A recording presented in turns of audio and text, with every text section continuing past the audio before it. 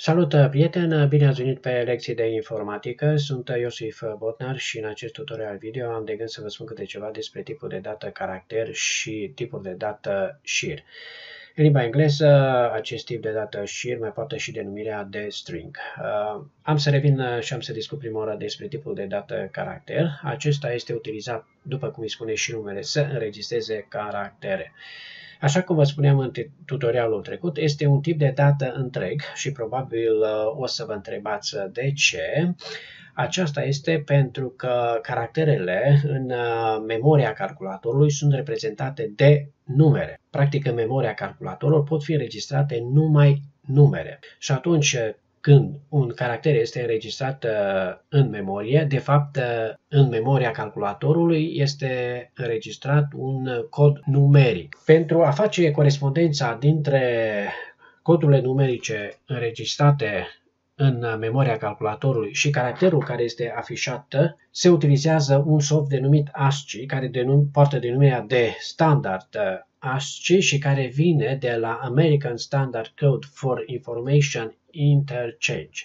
Și atunci când computerul este instruit să afișeze o valoare pe ecran, el de fapt afișează caracterul care corespunde cu uh, valoarea numerică registrată în memorie, deoarece între uh, memoria calculatorului și uh, caracterul afișat uh, se intercalează acest uh, soft ASCII, acest standard ASCII, care va face corespondența dintre valoarea numerică înregistrată în memorie și caracterul afișat. Și anume, aveți atunci pe ecran afișat uh, corespondențele, o parte din corespondențe, uh, ca să înțelegeți ce se întâmplă, deci pentru 65 acest cod ASCII va afișa caracterul uh, mare A, pentru 66 va afișa uh, litera mare B, pentru uh, 67 va afișa litera mare uh, C și așa mai, de uh, și așa mai departe. Tipul de dată caracter ocupă 8 bits uh, în memoria calculatorului. Atunci când atribuiți o valoare pentru tipul de dată caracter, acesta trebuie să fie înconjurat de uh, ghilimele simple. Puteți să atribuiți uh, tipului de dată caracter și numere, uh, iar acestea nu trebuie să fie însoțite de către ghilimele. Și atunci haideți să facem un exemplu. Așa, pe această linie am de gând să declar o variabilă de tip caracter denumită literă. Așa. Și atunci, uh, haideți să inițializez uh, acest, uh, această variabilă literă cu acest număr 67 și pe această linie am de gând să scriu acest cout pentru a afișa rezultatul variabilei literă. Așa, haideți să scriu atunci acest text c egal, așa, și variabila literă.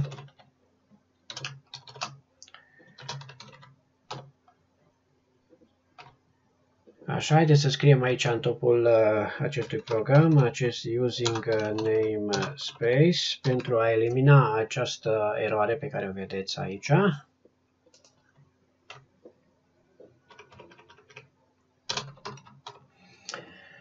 Așa, Uh, și am de gând pe această linie să schimb valoarea pentru variabila literă în 68.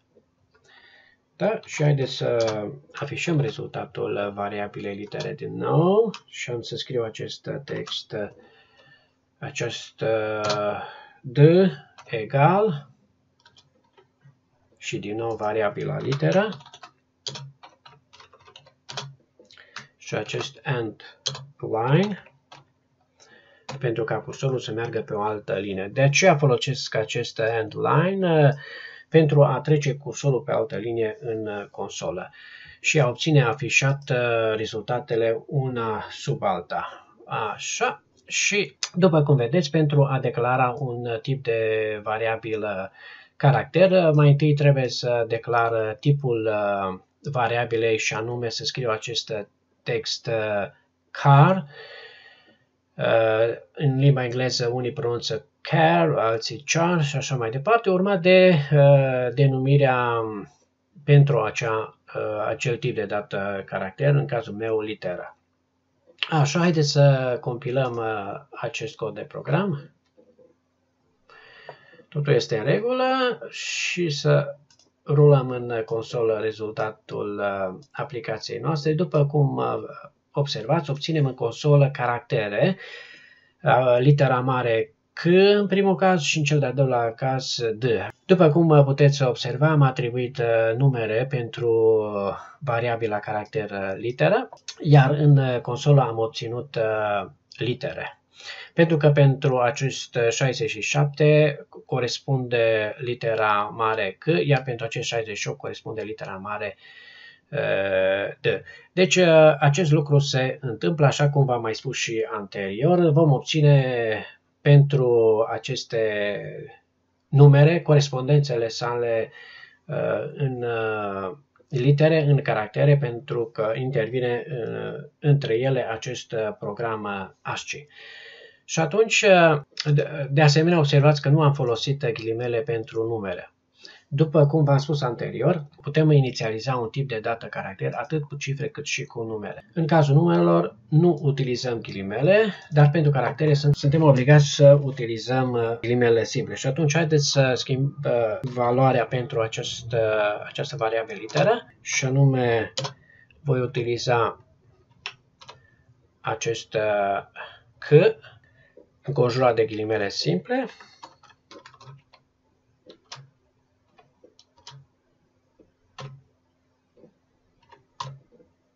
Și acest D, de asemenea, înconjurat de ghilimele simple. Așa, haideți să afișăm rezultatele.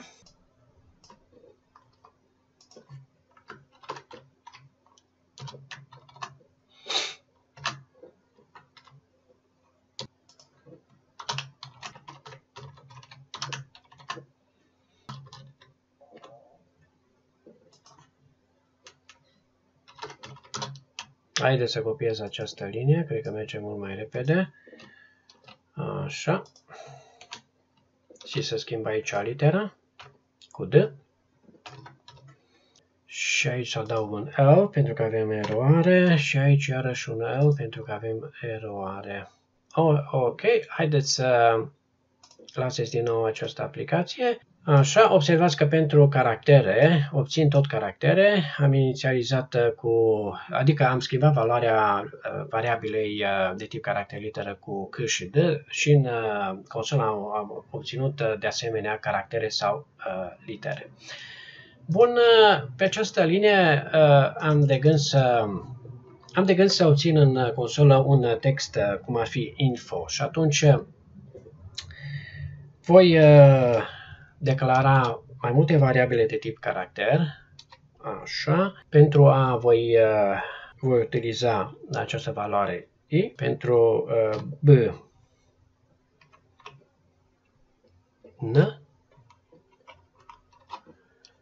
pentru caracterul, uh, pentru variabile tip caracter c, f, iar pentru d, valoarea o. Așa. Punct și virgulă. Și haideți să afișez atunci acest cuvânt uh, info. Voi folosi uh, variabile, da? A, B, C și D. Și haideți să folosesc acest end line. Așa, haideți să lansez din nou aplicația. Da, observați că am obținut uh, textul uh, info, dar uh, pentru a obține acest lucru am utilizat foarte multe variabile de tip caracter, patru variabile de altfel. Este un lucru destul de complicat după părerea mea și acest lucru se întâmplă pentru că variabila caracter poate înregistra doar un singur caracter în locația lui de memorie și de aceea este nevoie să utilizăm un alt tip de dată, cum ar fi acest tip de dată Uh, șir de caractere sau uh, string. Pentru a putea, uh, putea utiliza tipul de dată șir, standardul C++ furnizează o clasă de tip string care permite programatorului să creeze acest tip de dată shear.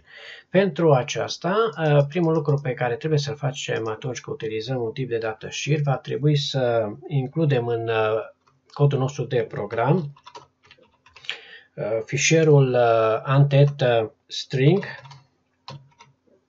Așa.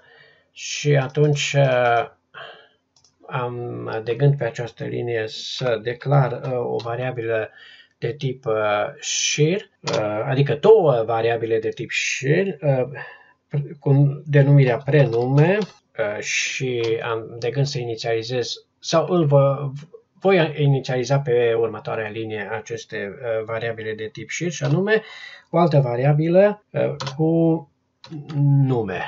Așa, și atunci, uh, după cum spuneam, acest prenume am de gând să inițializez cu uh, prenumele meu uh, și după cum uh, observați, uh, utilizez ghilimele duble și nu simple ca și în cazul uh, tipului de dată caracter, iar uh, nume inițializat cu uh, valoarea uh, numelui meu, uh, ghilimele duble, uh, botnar, așa, punct și virgulă. Și haideți atunci să afișez în consolă rezultatele pentru aceste variabile de tip uh, și nume și nume.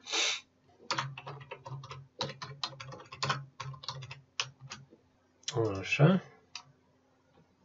Trebuie să utilizez pentru text uh, de asemenea acest, uh, aceste ghilimele. Așa. Variabila prenume și underline punct și virgulă. Haideți să copiez această linie și să fac doar schimbările de rigoare. Bun. Numele este și aici variabila nume. Așa, mai întâi de toate trebuie să observați diferența dintre tipul de dată șir și caracter. Pentru șiruri vom utiliza ghilimele duble pentru a declara valoarea lor sau pentru a inițializa valoarea lor, uh, iar pentru tipul de dată caracter vom utiliza ghilimele uh, simple. Așa, haideți să compilez din nou codul meu de program. Totul este în regulă, haideți să lansez codul meu de program și iată am obținut rezultatele și pentru uh, tipul de dată shear, prenumele este Iosif, numele este Botnar. Atât pentru uh, astăzi, vă mulțumesc că ați participat la acest video tutorial și vă aștept în continuare pe lecții de informatică. Să ne vedem sănătoși la un alt video tutorial. La revedere!